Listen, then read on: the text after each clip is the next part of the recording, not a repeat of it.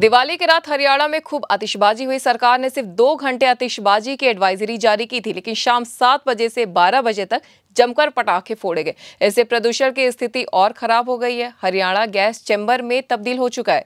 हिसार और कुरुक्षेत्र में हालात सबसे ज़्यादा खराब है। इसके अलावा हरियाणा के दस शहरों, अंबाला, फरीदाबाद, गुरुग्राम, जिंद, पंचकुला, रोहतक, यमुनानगर, हिसार और कुरुक्षेत्र में एक यू आई के पार हो गया यह इतना खतरनाक है कि घर से बाहर निकलने पर स्वस्थ व्यक्ति भी बीमार पड़ सकता है।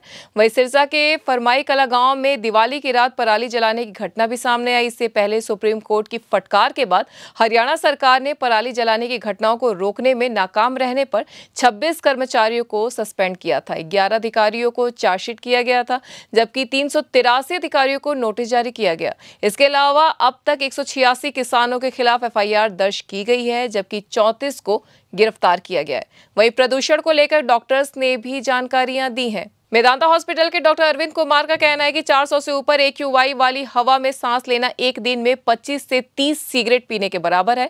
300 से 350 का एक एक दिन में 15 से 20 सिगरेट के बराबर हो सकता है। इससे स्वास्थ्य पर बहुत बुरा असर पड़ेगा। इसी के साथ दिल्ली एम्स के पूर्व निदेशक डॉक्टर रणदीप गुलेरिया ने कहा कि कोविड नाइन्टीन की तुलना में प्रदूषण से होने वाली मौतें अधिक हो सकती है। हेल्थ इफ़ेक्ट इंस्टीट्यूट की रिपोर्ट के अनुसार दो हज़ार इक्कीस में वायु प्रदूषण के कारण दुनिया में अस्सी लाख मौतें हुई।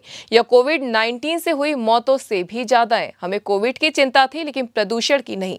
वही डब्ल्यूएचओ के मुताबिक वायु प्रदूषण से कई बीमारियों का खतरा हो सकता है, जिनमें अस्थमा, फेफड़े का कैंसर, हार्ट अटैक, बच्चों को सांस में दिक्कत सीओपीडी शामिल है। इसी के साथ डॉक्टरों ने कहा कि आप पहले से बीमार हो या नहीं, ये स्वस्थ प्रदूषण सभी के लिए खतरनाक है। प्रदूषण के पीक वाले समय में जैसे सुबह शाम घर से बाहर जाने से बचें, पटाखों के धुएँ से खुद को बचाएँ, अस्थमा रोगियों के लिए इन बातों का ध्यान रखना और भी ज़रूरी हो जाता है। घर के भीतर की हवा को साफ़ स्वच्छ रखने के लिए एयर प्यूरिफायर का इस्तेमाल करें। जहाँ प्रदूषण का स्तर ज़्यादा है, वहाँ मास्क पहनकर रखें, जिससे प्रदूषण आपके शरीर में न प्रवेश कर पाए। किसी भी समय आपको सांस की दिक्कत या छाती में दर्द या जकड़न महसूस होती है तो बिना देर किए तुरंत डॉक्टर से संपर्क करें। एनवन लाइफ की खास खबर।